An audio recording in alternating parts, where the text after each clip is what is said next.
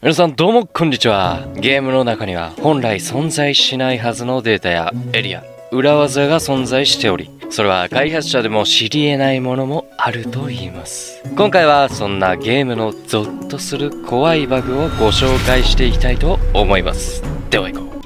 新三国無双7エンパイアーズ本作は2014年に発売された三国無双シリーズ。本作とにかくバグが多く。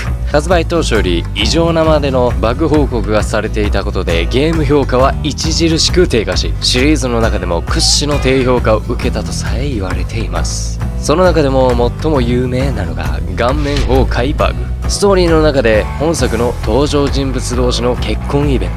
この私に一生尽くしてくださってもいいのよ。と言った瞬間寄生獣よろしく顔面が崩壊しこの世のものではない姿になり果てプレイヤーを恐怖のどん底に叩き落とすバグが発生。ネットでは寄生獣と化している。ピグミンのチャッピ。ースター・ウォーズに出てきたジャージャーなどと本来の美形な女性からかけ離れた感想が相次いだほどの気味の悪いバグ。本作は GTA シリーズを手掛けるアメリカのゲームメーカーロックスターが開発したアクションアドベンチャーゲーム。タイトルにもあるバレエの意味はいじめっ子などの意味を持っておりアメリカのスクールカーストを扱った題材になっており学園版 GTA という物騒な肩書きを持っている本作。そんな本作にも非常に恐ろしいバグが。校内の廊下。まるで人の動きではないアメフト部が。とんでもない姿で前後しながらプレイヤーに近づいてきます。これは恐ろしい。バトルフィールド3本作は PS3 などで発売されたエレクトロニックアーツ開発の FPS ゲーム。こちらは非常に有名なバグ銃弾が行き交う戦場で新たな生物が生まれました。この世に未練を残したものの慣れ果てがあるいは悪魔の呪いか。実際こんなの戦場に現れたら色々とちびってしまいそう。太鼓の達人。ファーストパイ。ファーストパイとは Wii の太鼓の達人を解析した際に発見された本来存在しない71曲目のこと。譜面は存在しない曲が今作のゲームに収録されています。ではその71曲目を一度お聴きいただきましょう。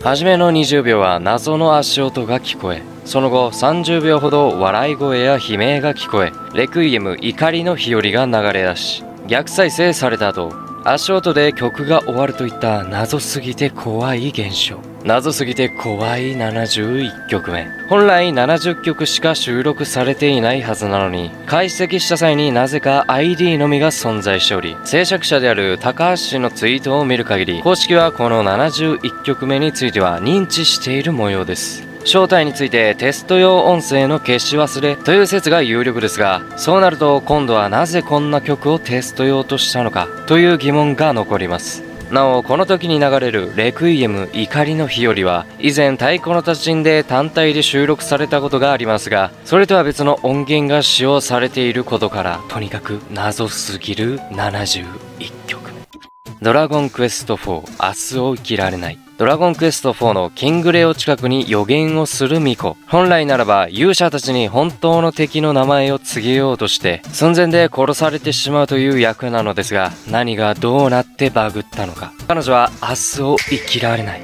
とつぶやいたのです。殺される巫女が実際に話すメッセージはこの通り。時は来ました。導かれし者たちが出会った今必ずや邪悪な暗闇を打ち砕くことができるでしょう。あなた方が倒すべき相手は地獄から蘇りしていお S 明日を生きられない。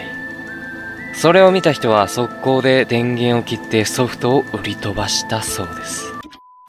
僕の夏休み8月32日。8月32日とはプレイステーション用ソフト。僕の夏休みにおけるバグの一種。本作でも現実においても通常8月31日までしか存在しませんが、本作はクリアデータを使用してとある操作をすることで、本来はありえない8月32日に突入することができます。本来は存在し得ない時空の中で、主人公たちの姿がどんどんおかしくなり、セリフの文字化けが起こり、本来の夏休みゲームとは思えない世界。そのバグの起こし方をご説明しましょう。クリアデータ作成後、タイトル画面に戻って夏休みの思い出を選択。クリアデータを選んで絵日記を確認する。8月31日の絵日記を開いている状態で戻るにカーソルを合わせながら上ボタンを押し決定ボタン。もう書けないはずの絵日記を書くことができます。そのまま8月32日に突入。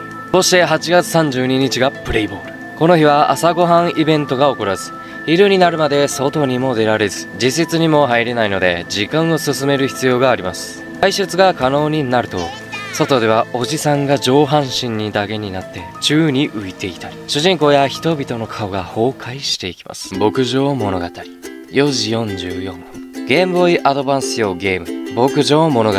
ゲーム内時間4時44分。または深夜0時00分。自宅のテレビをつけると一定確率で砂嵐のままほぼ永遠に。4時44分。4時44分。4時44分。という文字が流れ続けるといった意図も目的も謎すぎる仕様が存在します。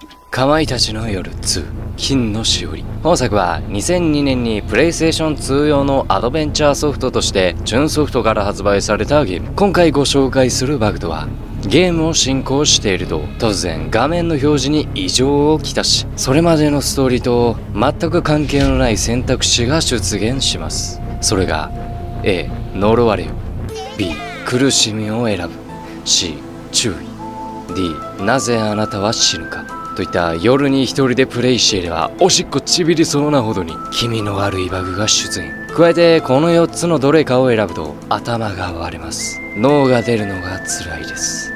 舌を切られます。という風にさらに気味の悪いメッセージが画面いっぱいに表示。こんなバグの発生条件は金のしおりというアイテムを獲得した後に特定のゲームシーンでランダムに出現するバグ。バグとは言っていますが巷では開発者がゲームに仕込んだものだという都市伝説も存在していますが真偽は不明。その他にもバグ画面に切り替わると黒の背景に波打つ画面が出現し電子音が鳴り続けた後このような文字が出現。とにかく様々なバグが存在するかまいたちの夜。ホラーゲームには演出がつきものですがこれが演出なら本当に怖すぎる。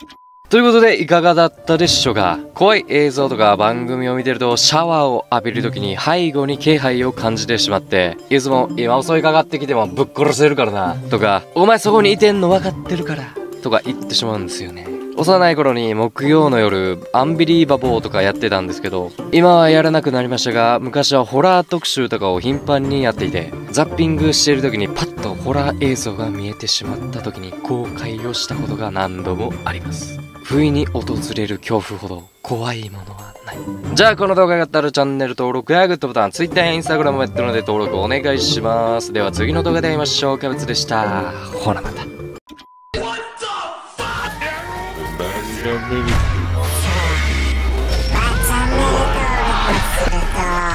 丈夫チ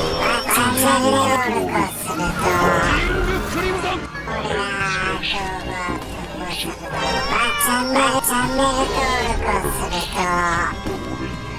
広告収入が入る。よ、お前ら。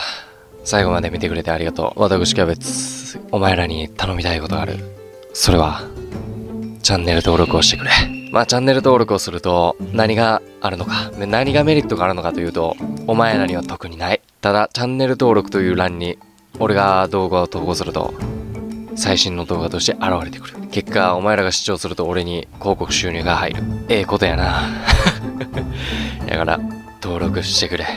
あと、Twitter と Instagram をやっています。Twitter では結構頻繁にツイートはしてますが、Instagram は全く投稿しておりません。別に俺は顔出しをしているわけではないので、投稿するネタに困ってます。なので、コメント欄でネタをください。まあ、とりあえずお前ら全部いろいろ登録してくれ。あと、チャンネル登録した後、なんか通知マークをオンにしてくれたら、俺が投稿すると君たちに通知がいくので、ぜひ、そこも通常オンにしてください。